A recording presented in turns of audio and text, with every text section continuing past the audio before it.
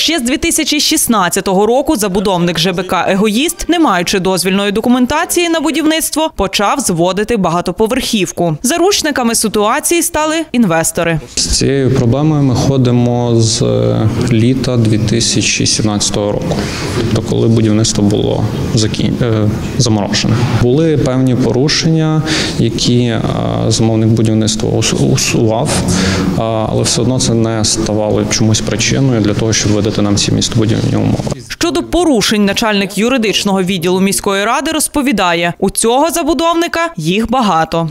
Відсутній паркінг, відсутні місця е, гостьових стоянок, відсутні дитячі площадки у цьому проєкті.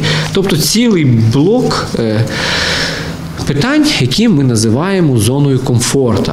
І так вже понад рік на головній 265 г стоїть самовільно збудована восьмиповерхівка. Інвестори дізналися, що вкладали гроші у бездозвільне житло. Тепер змушені боронити свої квадратні метри у владних кабінетах. Завдяки тому, що у жовтні 2018-го депутати міської ради надали виконавчому комітету обов'язки погоджувати або не погоджувати містобудівні умови у складних випадках. Інвестори егоїсту отримали шанс. І нині виконком проголосував за видачу містобудівних умов. Містобудівні умови це той крок, який ну без якого вони й далі не порухаються. Як би це абсурдно не звучало, видача містобудівних умов дасть можливість отримати на цей об'єкт так званий дозвіл на початок будівництва, щоб у подальшому його можна було завершити. А для понад 80 родин, котрі понабирали кредитів, аби купити житло, цей документ шанс найближчим часом отримати дах над головою. Антоніна Фіель, Сергій Льоткін, Чернівецький промінь.